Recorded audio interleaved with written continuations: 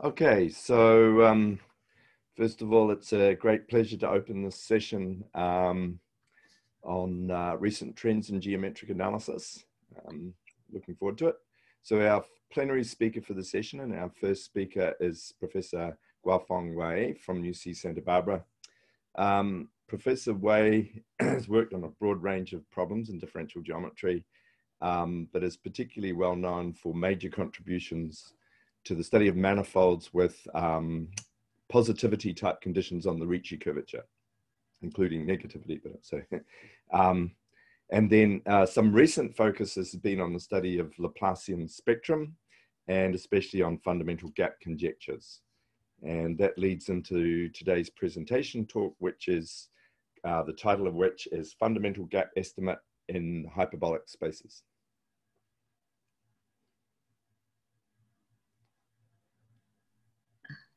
Thank you, uh, Professor Gao, for the introduction.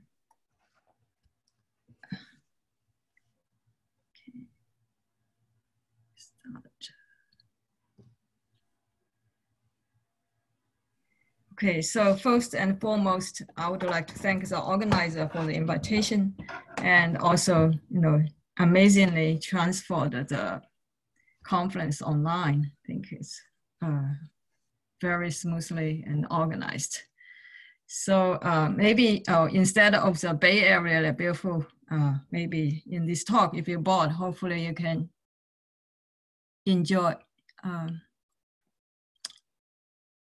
yes, you can enjoy the uh, Santa Barbara view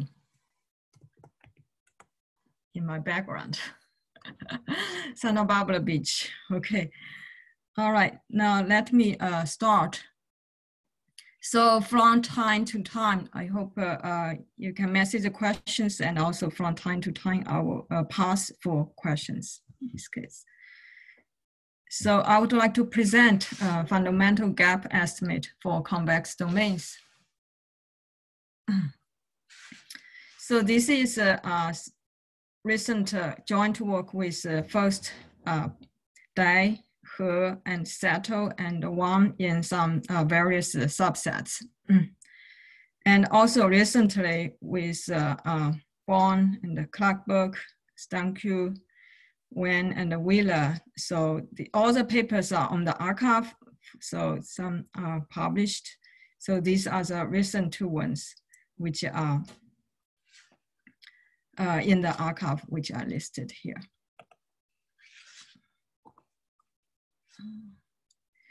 Okay, also actually today I am uh, trying a first software. Hopefully that works out.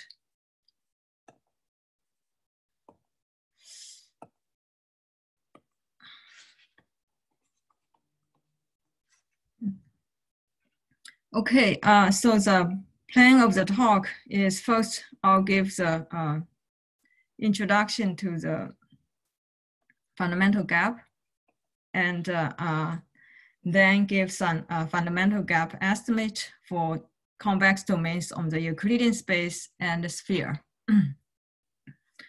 then we will move to the more recent work, which is uh, convex domains on the hyperbolic space.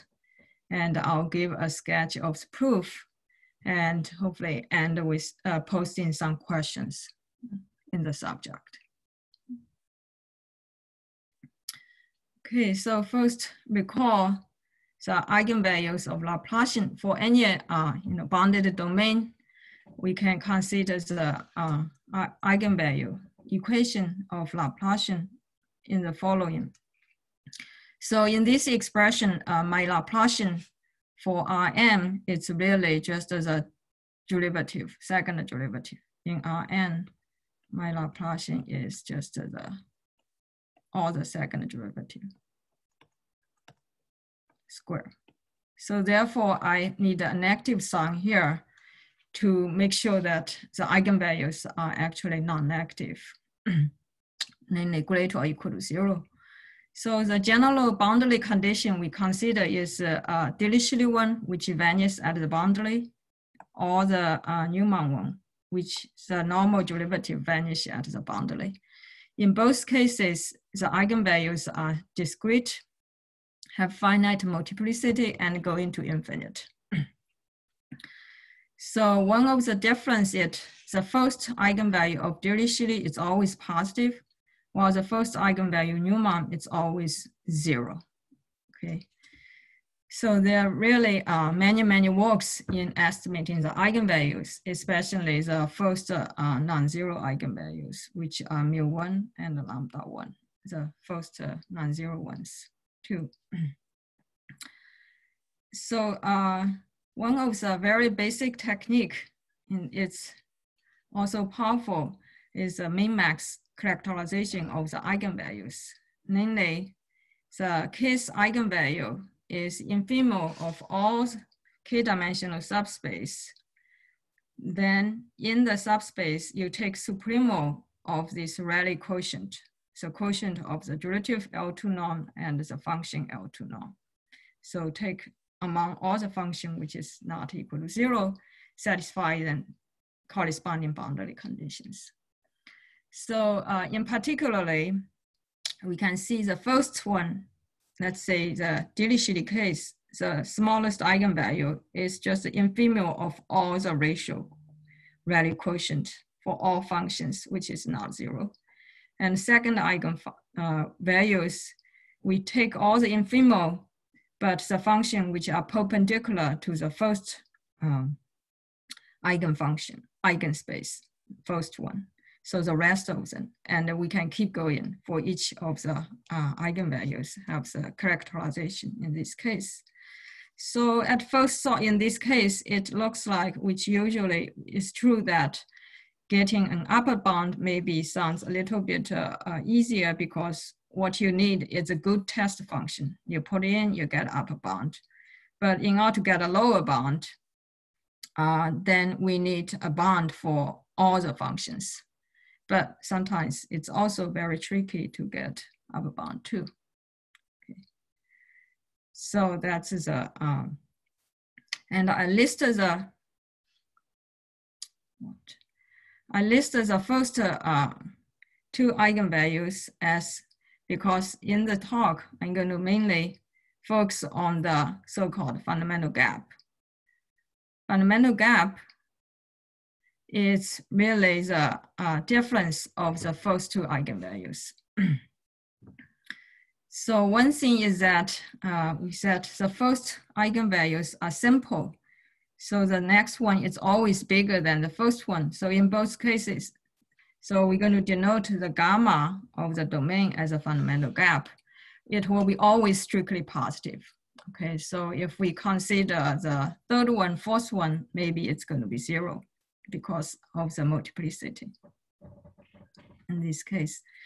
So eigenvalues are, uh, you know, in quantum physics are really represent energy levels. So this fundamental gap, you can think about if we want to excite from the ground state, the lowest level to next level, how much the energy is.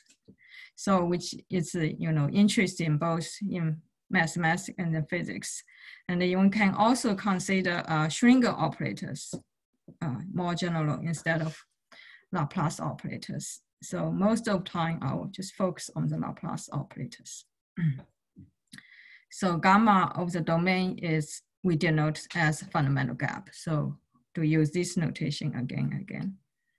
So the question we're going to uh, focus uh, today is trying to get some really good bond, up and the lower bond for the gap.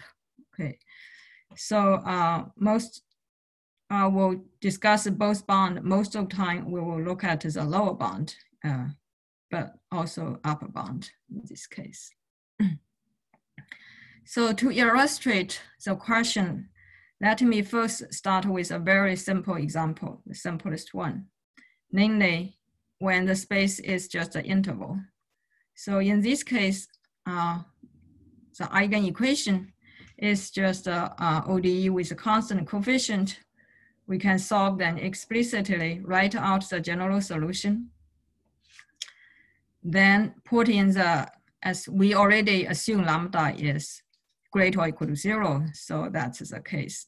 The exponential uh, does not, won't have a solution.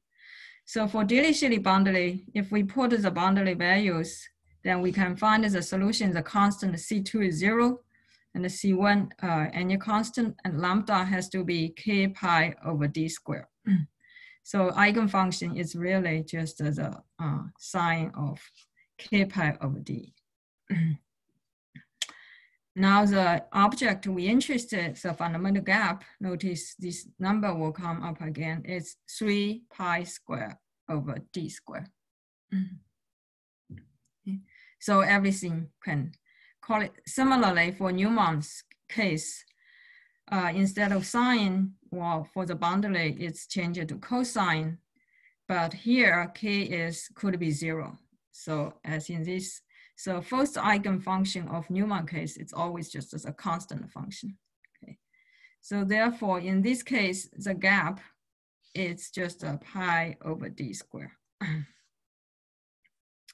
Can see the Okay, so actually it's uh, interesting to study both cases, but Neumann cases, the gap, it's easier because uh, the first eigenvalue, we said it's always zero. So in Neumann cases, it's just estimating the first non-zero eigenvalue. So uh, for the sake of time, I'm gonna skip the Neumann case uh, in the talk. Rest of them, I will just uh, concentrate on the Dirichlet case. uh, which usually for the gap problem, it's uh, are harder because uh, both eigenvalues are not equal to zero. Okay, so that's the um, question set up. Is any questions, comments so far?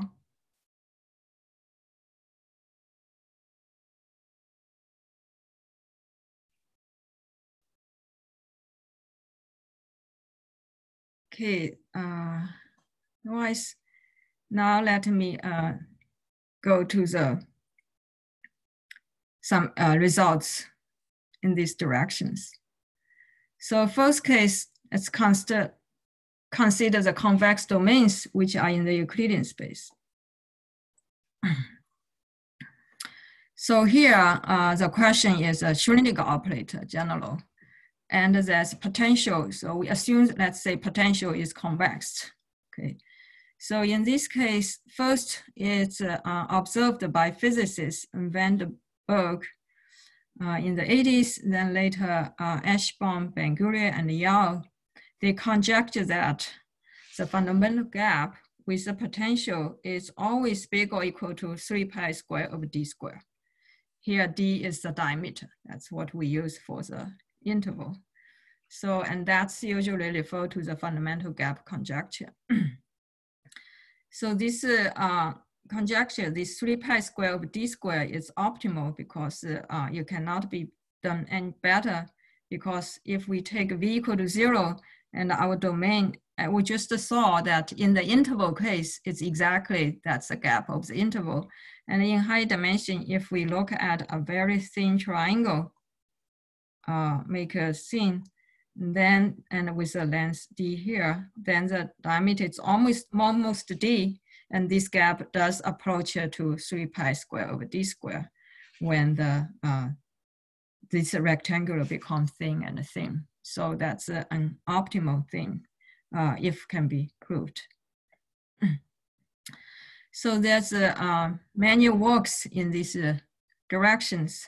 One of the first influential work is uh, uh, by Singer Wong Yau Yau in 80s. so they first obtain a lower bound, which is pi square over 4d square. So this is a still convex domain in Euclidean space. And uh, Yu and Zhong and Lin, they improved the bound with, so those, they use uh, uh, gradient estimate of the eigenfunction, similar method to pi square of d square.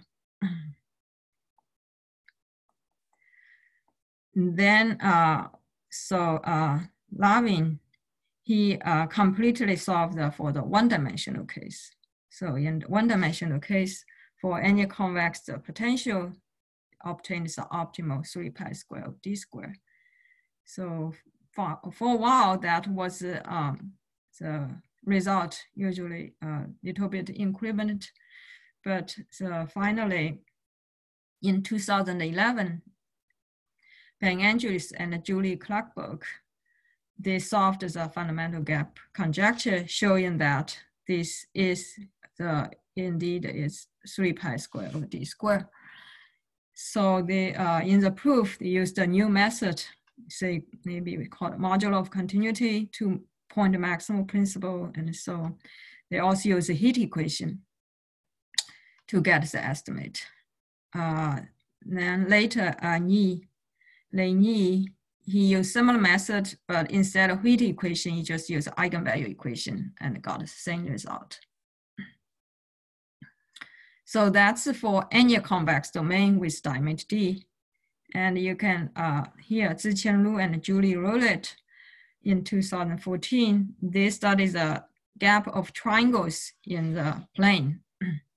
In that case, you know, the gap actually they proved can be bigger, almost 2.5 bigger than the general lower bound. It's 64 over 9 pi square over d square. Okay, so there's uh, lots of things one can look at it. So right now I'm just focusing lower bound. Later on I'll mention uh, upper bound quickly. Okay, so this uh, the lower bound. It's usually uh, harder in this case. So that's uh, convex domain in Euclidean space. Then naturally we can ask, what about on sphere? so that's a convex domain on sphere, the unit sphere. In this case, in the 80s, Li and Wang, with similar method, already obtained the bound, which is pi square over d square, in this case. then uh, recently, um, in a joint work of myself with Shoo Seto, Lili Wang, which uh, is published in JDG. In the first work is we proved the same fundamental gap estimate. This is strictly inequality, in fact. First, for dimension big or equal to three and diameter is less than pi over two. Uh, here, we uh, only also use eigenvalue equations, not heat equation. Then later, joined with her, we removed the diameter uh, restriction. So diameter just uh, it's convex, it's automatically less than pi, but dimension is still big or equal to three. Then in the end, uh, with Dai and uh, show uh, this is archive date papers. We did all the dimensions. So maybe uh, for time we can explain why there's difference in the dimension because of the model case. Uh, dimension two has to be taken out separately in this case. And this, work, this uh, work also works for all dimensions. Okay, so uh, here maybe I'll just uh, indicate idea of the proof, not go into, in both cases, on the Euclidean space and on the sphere. The proof, maybe the idea in here, wait, can be divided into uh, three steps.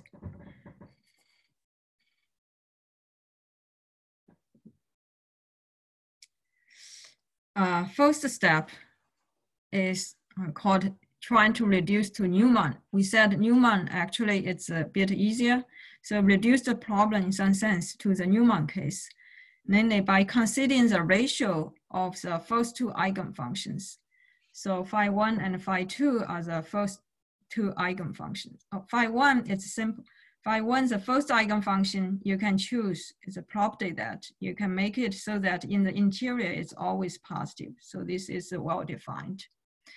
Uh, even in the boundary, both of them vanish so that uh, still in the boundary, the ratio is still uh, well, the limit exists. So this W function is well defined on the whole domain. Not only that, it satisfies this very nice Laplace equation such that the gap it come out naturally here. The Laplace of W.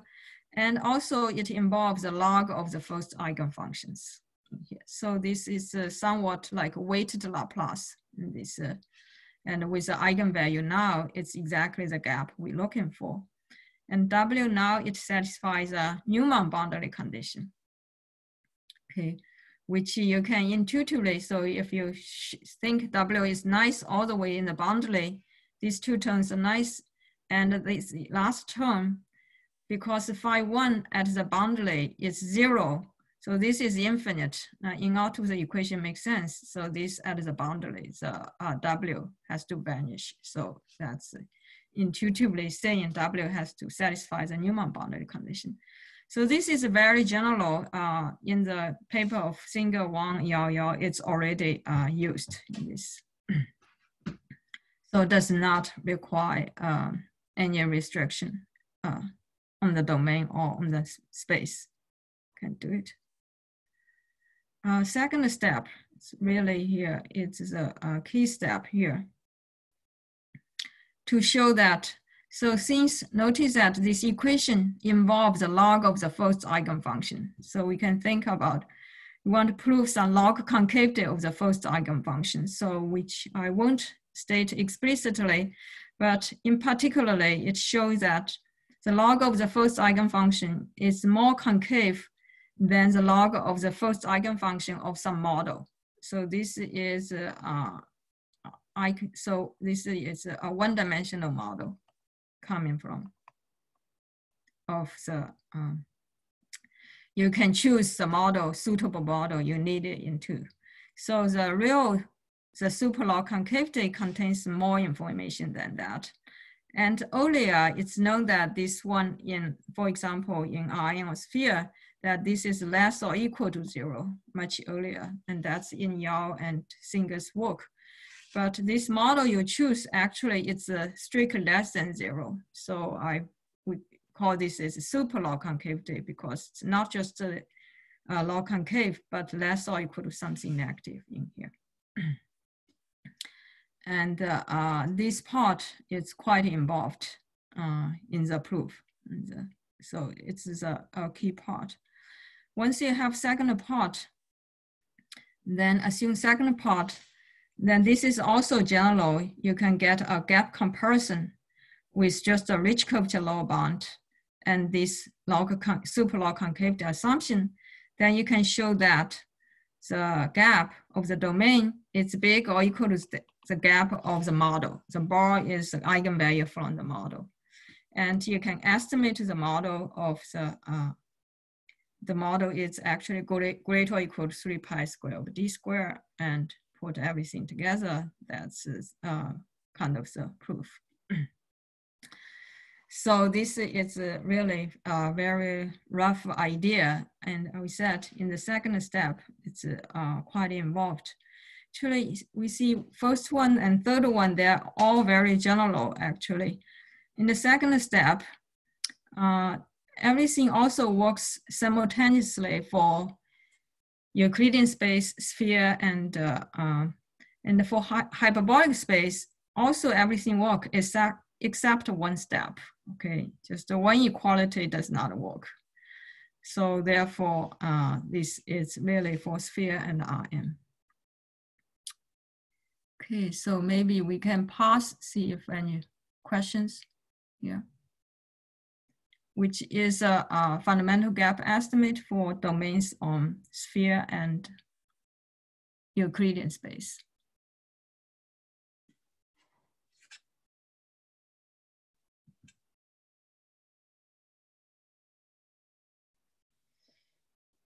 Okay, so uh, no question. Then so, so natural thing we want to ask is what about hyperbolic space? So when actually uh, when we done this work on the sphere, that's first, uh, and I emailed to Ben Andrews, and that's a first reply, what about hyperbolic space? And that's been, so that's, uh, I would like to, more recent work, we uh, got information on hyperbolic space. So first, let me review. There's not much gap on hyperbolic space, but there's two really uh, relevant, interesting work First is Shih back in 1989 showed that there's convex domain in the hyperbolic plane such that the first eigenfunction is not log concave. Remember in the sphere and uh, uh, in Rn, we showed the first eigenfunction is not only log concave, but super log concave, okay? So that's not the case. Actually, it's even not quasi-concave, which is a weaker, uh, maybe. Um, and there is uh, some beautiful upper bound. So before we were always a lower bound, namely uh, for any domain in hyperbolic space, uh, the gap of the domain is always bounded by gap of a ball. This is a ball. And this ball is chosen such that the first eigenvalue of the ball is equal to the first eigenvalue of the domain. So this is really, you can think about its second eigenvalue comparison. Namely, if the domain of the second eigenvalue is always smaller than the second eigenvalue of the ball, once you choose a ball have the same eigenvalue. And exactly same result also hold for, uh, for domain in uh, Rn and sphere that's proven by Benguria in this earlier in this case. So, so that's the upper bound case. All right, so still we want to say, since it's not log concave, so the feeling is that, okay, well, maybe the gap is not a lower bound, it's not by three pi square of d square. And yes, that's the case. Uh, we recently confirmed that. So that's the joint work with uh, uh, Theodora, Julie, Alina, and Hien, myself, and uh. We started this project uh, in Women's in Geometry workshop uh, last year. So uh, we showed that there's convex domain in the hyperbolic plane such that the gap is smaller than 3 pi square of d square. So this uh, which is kind of expected in the construction. Uh, we need the diameter kind of big, okay? And in the Shih example, in, we also estimated the gap It's still bigger than 3 pi square over 2d square, okay? So at first, uh, we still expect some kind of lower bound. Uh, said, okay, what maybe it's not 3 pi square over d square, but maybe it's pi square of d square or, but uh, uh, recently, very recently, the same joint work after we look, we found that actually there is no lower bound at all.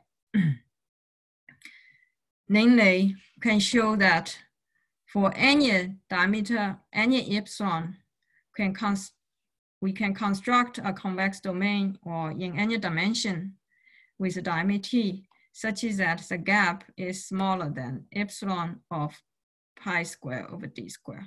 Okay, so epsilon is arbitrarily small.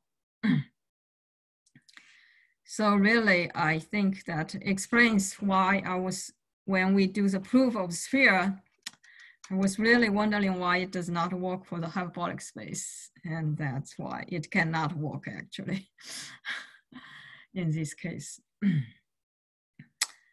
Okay, so that's now let me uh, maybe uh, sketch the proof of this uh, uh, result, especially the last one, which of course covers, kind of covers the first one. Okay, any questions? Okay, so construction, since this is uh, proven upper bound in this, all we need is a constructor domain. So the constructor the domain here is motivated from Shih example.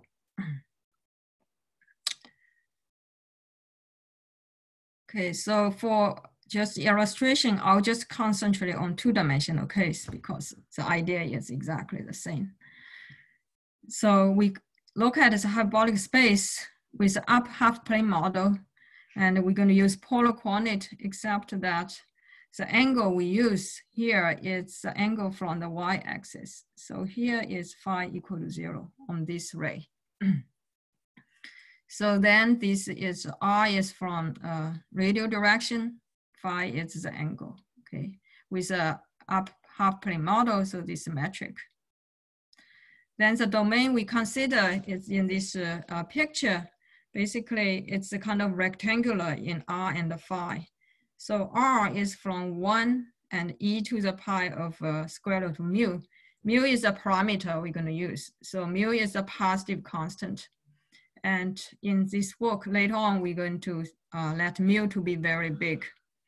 When mu is very big, R is also close to one. So it's like this strip, we look at it. And the angle is from negative L to L. Okay, so this, so really this uh, uh, the shape we draw here. Maybe it's a stranger we put in here. Later on, we'll see why we put all these ways, just to make later on the, uh, the notation easier, just this one. So that's for the second result. Actually, in the first paper, the domain we concentrate is, so this is, later on we're going to set let mu very big, so this is very, very thin. But in the first paper, we construct the domain in the following way. It's more like this. Uh, so it's concentrated on the y-axis. It's still saying like this fan, but instead of uh, let the radius radial direction goes to like zero, we let the angle direction, the L go to zero. And that's, uh, we found the gap is less than uh, 3 pi square of d square, but still have some lower bound, uh, especially when diameter is small. so uh, for this, we're going to, now maybe let's look at a little bit of hyperbolic geometry. Oh gosh, I'm not sure actually, sorry this is, I just downloaded uh, yesterday this software, so I'm not that familiar. Huh? Uh, looks good to allow me. So, okay, one thing we can hyperbolic geometry. Let's say if we have like here, this circle direction. So circle, we know they're geodesic in hyperbolic space. For the circle, so when I is fixed, then this di is zero. The length really only depends on phi. So one thing is that we can see that SP, these two circle, is equal to RQ. The length of these two is the same. So that's uh, because we really using the hyperbolic metric, okay? It's not the Euclidean metric. But if we look at the distance of the ray, namely that the angle fixed, phi fixed, so d phi is zero, Okay, so let R change. Then it depends on cosine. So denominator is one divided by cosine square phi. So when phi equal to zero, it is the smallest. So therefore the middle one, yeah, maybe I uh, erase what I wrote here. Then the middle one is the UT is less than PQ. So in some sense, this the middle distance, a little bit, it's like the dumbbell in the Euclidean, you can think about the middle. And that's actually, uh, we'll see this gap, it may not have a bound. First indication of this in this case. Okay. So that's the domain. Another thing, okay, you can check that this domain is uh, convex. And because of the domain, it's really uh, rectangular in the variables, so it allows uh, separation of the variable to do computations. Okay, so that's, it's really a convex domain. These two are geodesic, the side are convex in this case, all right. Okay, so what we want to estimate is a gap uh, in terms of diameter, right? So this really, uh, we what we want is uh, we need a diameter upper bound, which easily can be obtained, especially if we restrict, is a, we let mu big, then this is a, the width of the strip, if it's bounded, diameter should be bounded. In fact, we can get a very precise estimate on the diameter of the domain. Namely, the diameter of the domain, it's always going to big or equal to actually this exactly, this is exactly, you can compute, it's the length of the uh, SQ.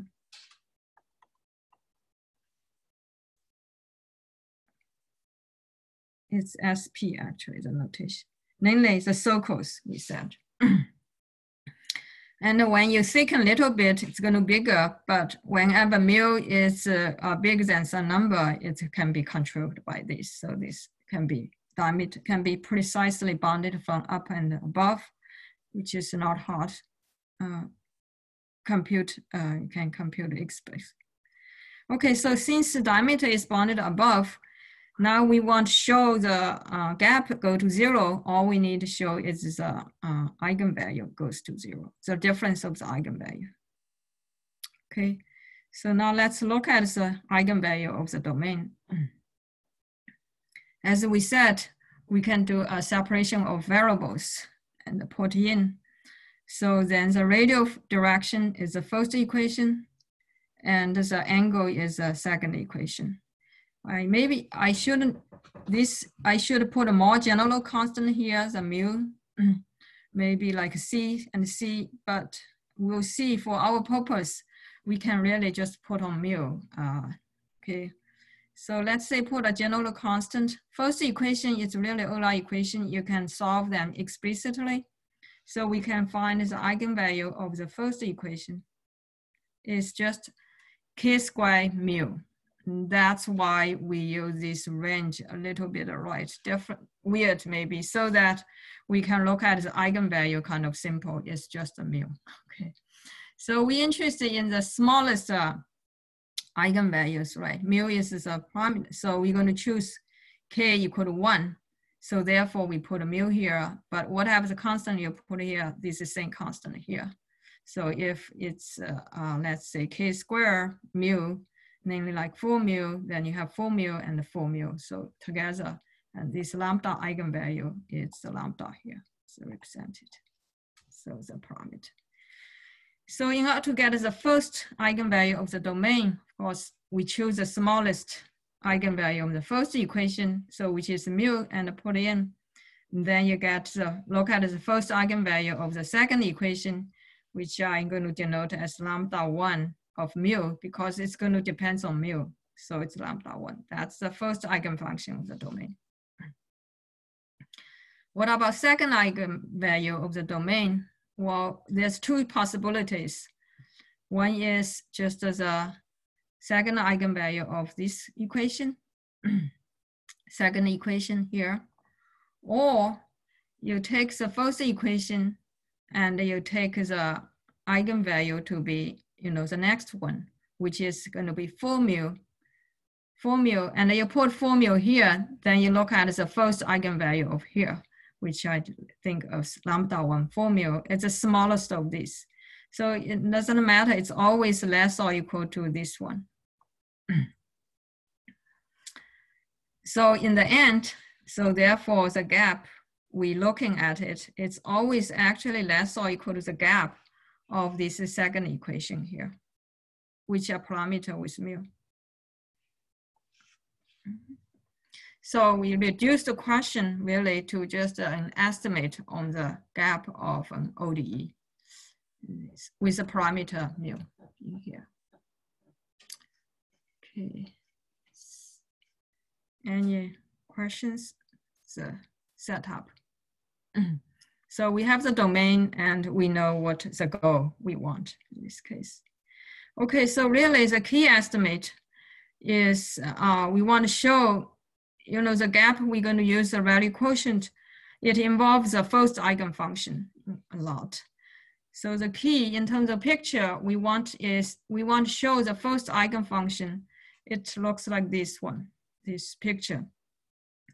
This picture say you can choose any phi zero in here, then you show the maximal will be outside in between that, in between phi zero and L. First eigenfunction is going to be an even function. So it looks like uh, this. So namely, so the maximal, it will go to L, the end point, as we go mu going to infinite. And in the middle part, we want to show it go to zero with precise, okay, uh, rate needed. The middle part, it goes to zero. So this function looks like this. It's far from log concave. It's not concave at all. It's not even quasi-concave. So once we proved this, actually we also recover Shih's uh, result. Okay, this another construction of uh, examples that first eigenfunction is not quasi-concave. Okay, so I just need to make everything here precise, exactly how it goes and estimate, which uh, involve some uh, quite a bit of ODE estimate. So let me, hopefully you're still with me. Let me get to the precise estimate. So we're going to estimate this gap using the Rayleigh quotient. okay, as we said, the first uh, eigenfunction is uh, even. So second eigenfunction, we go into just, uh, so this H1 is first eigenfunction, which is equal to this.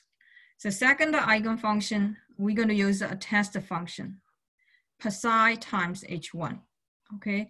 And this function psi, it's almost, it's a step function except to go in the, uh, the die. So everywhere is almost one. And, but it's making this is odd function. So this psi phi one is perpendicular to H1. So it's a good test function. And this, uh, this phi one we're going to choose is a very, very small. Phi one is, we have a phi zero on the top divided by mu. So eventually it's going to be uh, going to zero. So psi is a derivative. Well, it's everywhere it's going to be zero, but this part is very big. Near zero, the psi derivative, it's more like a one over mu, which could be very big. So that's why we need the H1 going to zero pretty fast to control everything. Okay, so uh, we do. So in order to uh, really show precisely the picture of the first eigenfunction we had, okay, so this equation we have is, uh, uh remember the equation of the uh, function I thought we have here is here, okay? To control the first eigenfunction, okay? So we first going to give estimate on the eigenvalue, first eigenvalues. Then we go back, okay? So it's a uh, first uh, step, okay? So it's first eigenvalue estimate, a lower and upper bound, just as a, because the function one over secant has some control in this so this part, we were just interested in mu is big, then it's bounded from above and below. And we see when mu going to infinite, the first eigenfunction is go grows like mu. So the limit goes to constant on this. So first eigenfunction goes to infinite asymptotically like mu. So once we have this uh, first eigenvalue bound, then we can use a comparison the first eigenfunction we call is this. So lambda is bounded up and above, and secant phi in this domain, you can also have a bound. So it's quite reasonable then we can bound the first eigenfunction. Except to notice that the usual comparison is initial equal to zero. Here we have derivative equal to zero. So we can control the eigenfunction in terms of the zero, the origin bounded from both sides by Cauchy. And uh, here the C1 constant only depends on phi zero. You can do it for any fixed point. Phi zero, it's less than uh, the domain. Okay, so that's, uh, uh, you know, if you have this bond, then it's uh, reasonable. That's uh, using the Sturm comparison in this case. Okay, so what we want to show this uh, really H10, right? Exactly behavior. So this is a relative. So H10, we can go back to the equation.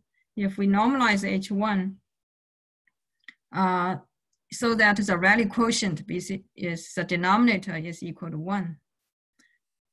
Then we can show the in the interval, the part, the middle part, okay, is actually going to zero. This part is going to zero as mu going to infinite. So really somewhat like the picture so that the concentrate H1, is you know outside of phi zero in this case. if we normalize the Rayleigh quotient to be one, then the middle part is kind of small, can be shown. Okay, so this combines upper bound above, then we can show that H10, it really decays, actually even decay exponentially in terms of the mu. Okay, everything is fixed. This constant is fixed. So H1 now, that's exactly what we want, nearby zero. So not only, well, if it's a zero, it's decays, then we had up and lower bound nearby in terms of H1 zero. So really we have very good control on the first eigenfunction picture. And you can also get control on the, uh, also on the derivative.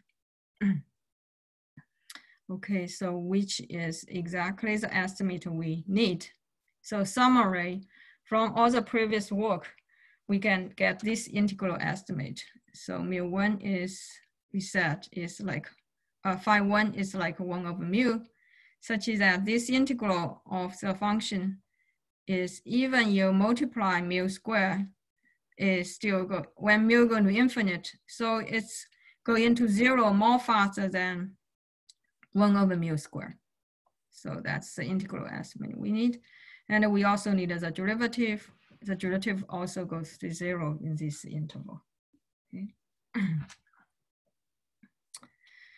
Okay, and that's the key, I think. Once you have these two estimate on the first eigenfunction, basically, now we can go back, write the Rayleigh quotient out. Uh, because of the function psi, remember psi is really constant, one and a negative one. It's exactly same and it's square. So everywhere canceled. So only thing left, everything, all the terms, the interval is really from negative phi one to phi one on this small interval. so you can write the difference between phi 1 psi phi 1 and the derivative difference. And this is difference, but with a mu because of the, so everything is a difference. And this term D, it's, well, lambda 1 is kind of big. So it's also the difference.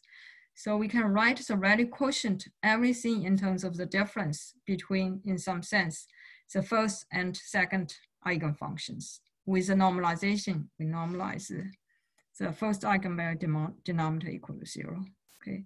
So now these two integral estimate really can show this uh, basically, or integral this, this is uh, bounded, and that's going to go to zero. And the worst term probably is uh, here, the derivative of the phi. Phi, is the derivative, remember the derivative, it's like one over mu and we have the square, and that's exactly what we need. We showed that mu square h1 square is still uh, going to zero. So the in the end is you can show everything goes to zero. Uh, the four constant. So uh, that is a Rayleigh quotient, which is when mu going to uh, infinite, it's going to equal to zero. Mm. So uh, from here, let's go back. Conclusion is we know the eigenvalues is less or equal to the Rayleigh quotient. And that's uh, the, this part goes to zero as mu goes to zero. Oh, sorry, mu going to infinite. Therefore, this goes to zero and the gap goes to zero, but then what we need is uh, d square times gamma, it also goes to zero. Because the D is, uh, D is bounded when you, that's exactly what we need. Okay. So epsilon. Mm -hmm. Right. Okay, any questions?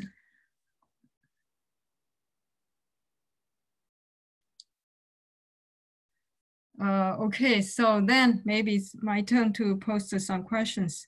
So in this uh, subject, there are actually still lots of uh, questions uh, one can ask. So let me just uh, give some examples possible.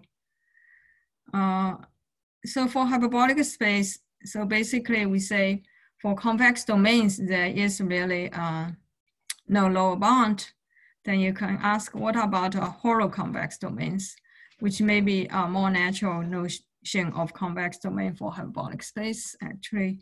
And we are working on it, have some uh, progress already. You can ask.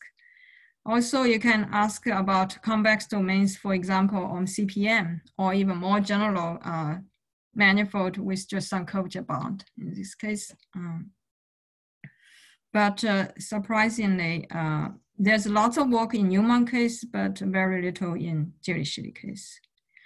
Now, instead of Laplacian, uh, you can also consider the nonlinear so-called P-Laplacian for convex domain. In uh, in sphere, in Rn, or in or every uh, all the cases you can. So other questions. So there's lots of other questions you can talk about. Okay, is there questions?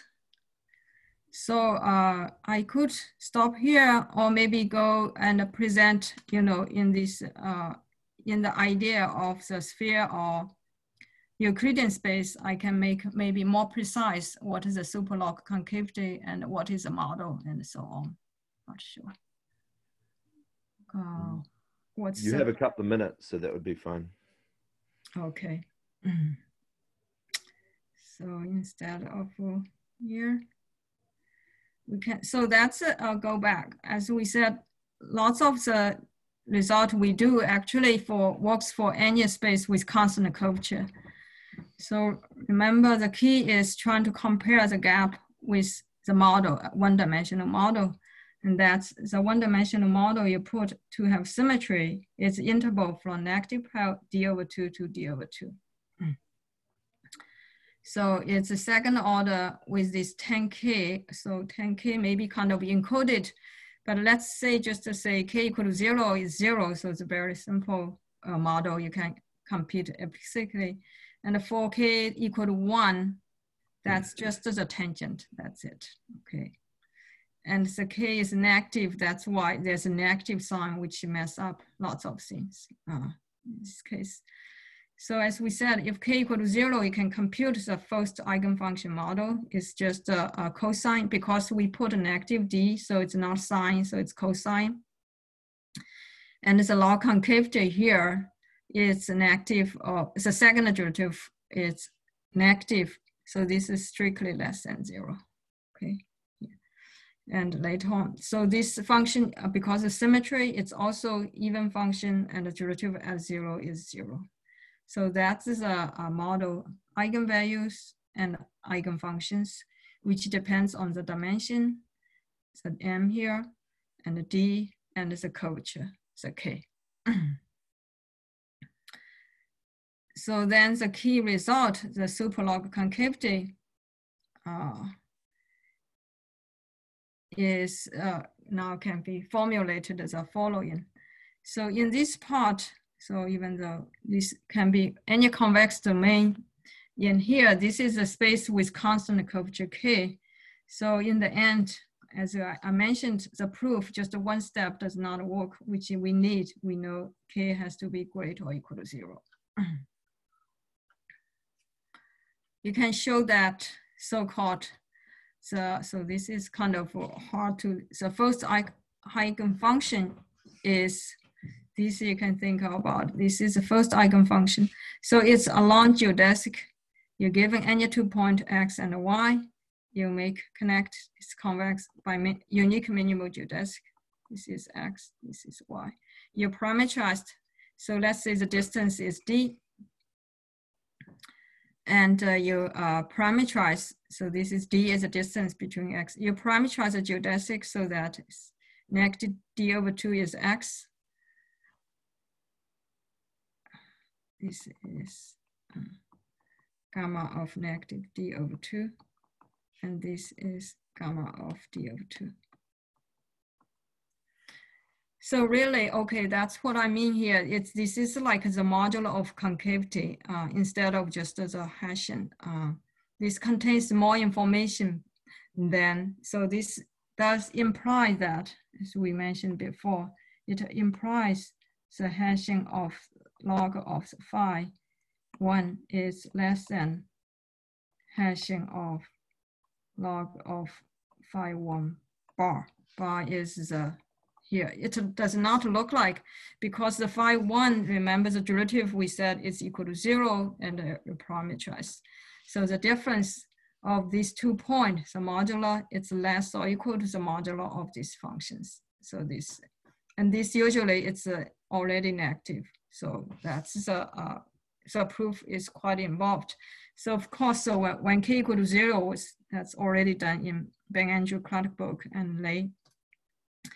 So in this part, uh, to separately, uh, in the first part, we proved with some diameter restriction and later on we remove the diameter restriction. Okay.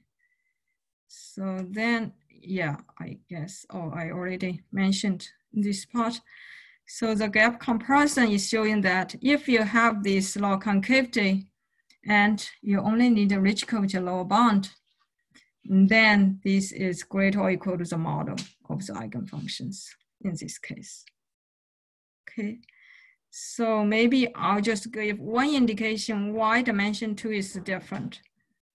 Here, this is a model equation. And if we ch choose a change of variable, we can obtain to change it to this Schrödinger form. Notice that here, when m uh, equal to three, this term changes the sign. So uh, namely, when m big or equal to uh, three, uh, for this model, you can show that the gap is big or equal to 3 pi square of d square. But when n over 2, actually the model is strictly less than 3 pi square over d square. So therefore, in dimension 2, we need another proof, and that's in the joint work of the day uh, Seto Wei. So in this two dimension, we construct another model and do the same estimate. And in that case, the model is equal to 3 pi square of d square and gives uh, another proof. Yeah, okay. I think uh, I'll uh, stop here. So thank you.